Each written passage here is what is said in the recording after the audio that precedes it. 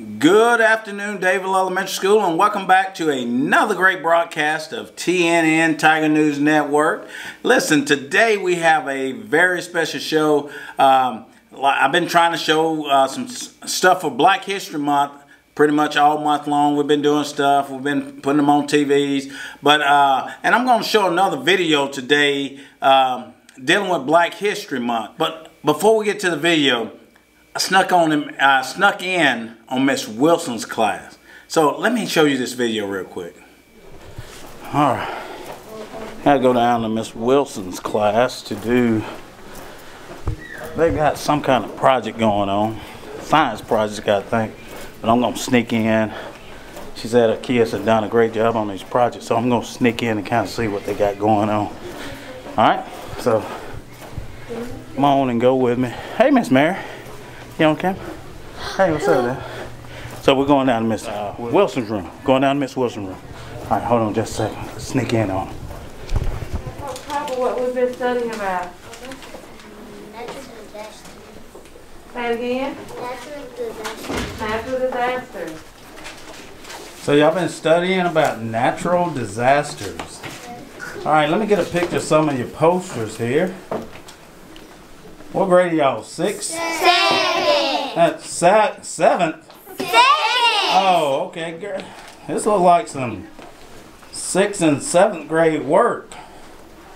All right, let me see. Full text Hey. about the. So let's start with, uh, Court. Let's start with Kimberly. All right, Kimberly, tell me a little bit about what you learned. Tsunamis can be caused by underground earthquakes. Okay. What about you? You- What's yours? Floods? All right, tell me what a little bit about floods. What did you learn? Mm, you can drive. You cannot drive through floods. You can't drive through floods. No. Wait, Hurricanes. Let's see. Hurricanes. Tell me a little bit about it. Hurricanes can go up to 150 miles per hour. Wow. All right. What are you? Earthquakes. Can go up to 80 miles per hour. Let me see yours again. That's, did you do all this? Did you do all that by yourself? All right. What do you got? Tornadoes. Tell me a little bit about it. It can go from 10 minutes to over an hour. They can last from 10 minutes to over an hour. Wow. Goodness gracious. All right. What about you? You, you tornadoes? What about you? They can go up to 300 miles per hour. Wow. 300? Goodness gracious.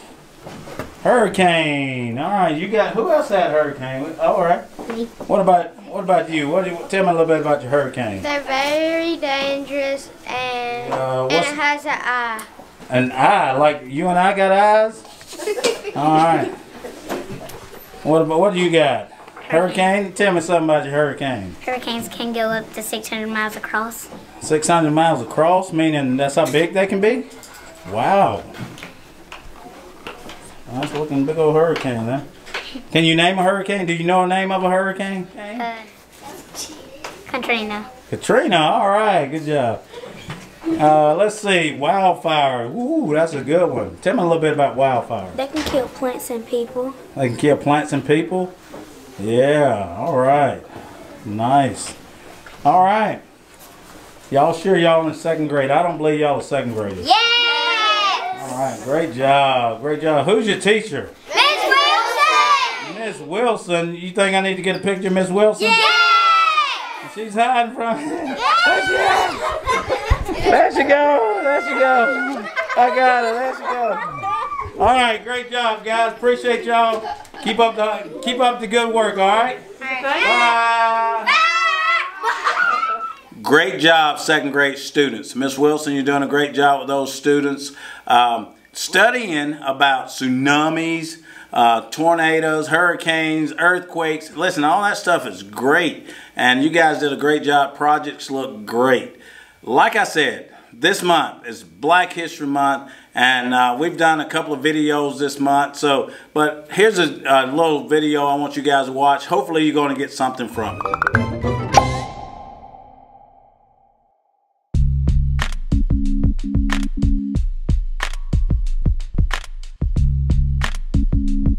Kids change the world? It all started with a trip. The year was 1958. A little girl named Ayana Najuma was seven years old. She and 19 other kids went on a trip far from their home in Oklahoma. They went up north to New York City. In New York, the kids noticed something. White people and African American people could use the same water fountains. They could eat in the same restaurants. They could even sleep next door to each other in hotels. That may not sound strange to you, but it was strange to Ayana and her friends. They were African American kids from the South. At that time, the southern part of our country was segregated. That means that African American people and white people were kept apart. In Oklahoma City, where the kids lived, water fountains had signs that said whites only. African American kids and white kids couldn't go to school together. They couldn't eat in the same restaurants. The kids were amazed at how different New York City was from the South. When they got back to Oklahoma, they said, Why do we have to live this way? They knew the way their community was set up was wrong. White people had more rights than African American people. The kids made a plan to fix things. But would it work? The kids decided to get the restaurants to change so that African American people were allowed to eat in them. It could be dangerous to try to do that. Many people would be angry, but the kids were brave. They planned a sit in. At a sit in, you sit in a restaurant and ask to be served. You don't leave until you are served.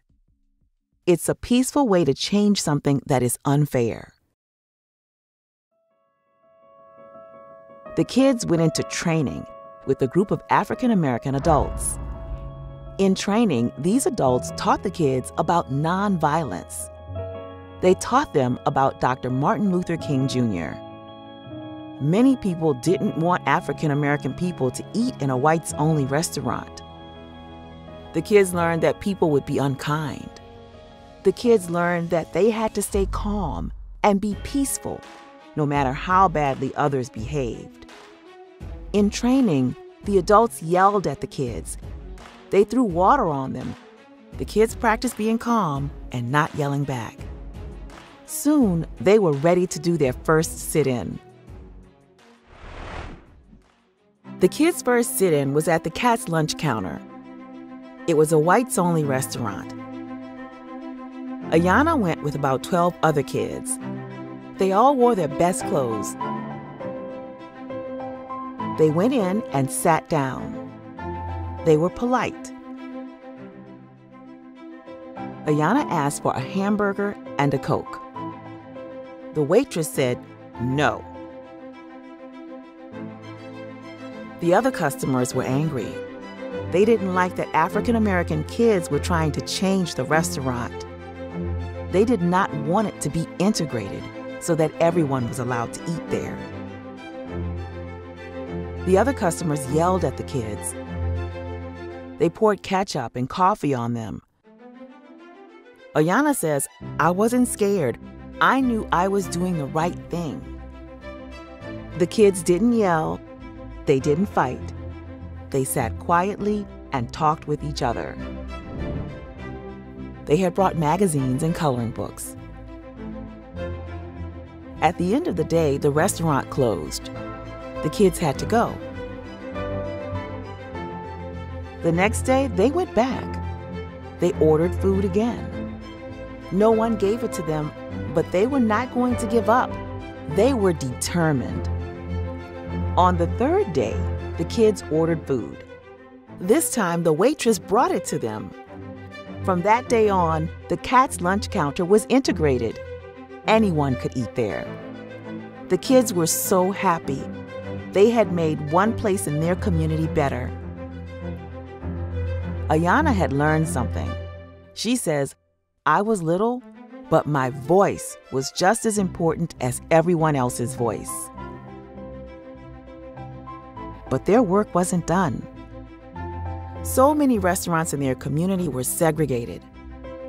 Over the next six years, the kids did sit ins at many restaurants. More and more kids joined each time. The restaurant owners got pretty clever about trying to keep the kids away.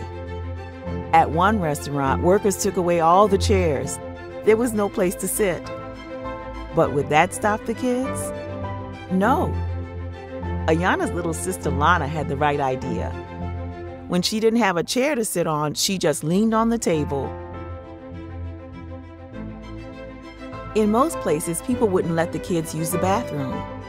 That wasn't going to stop the kids either. One by one, the kids integrated the restaurants in their town. The kids had changed their city. One small group of kids had made their community better for everyone. They may have been little, but their voices were huge.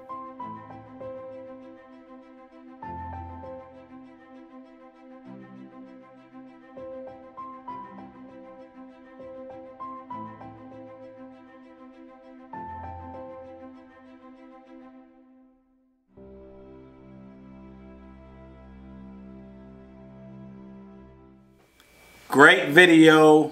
Hopefully, hopefully you guys get something from these videos that I show. Teachers, don't forget, if you have something that you want me to put on the TVs, please email it to me.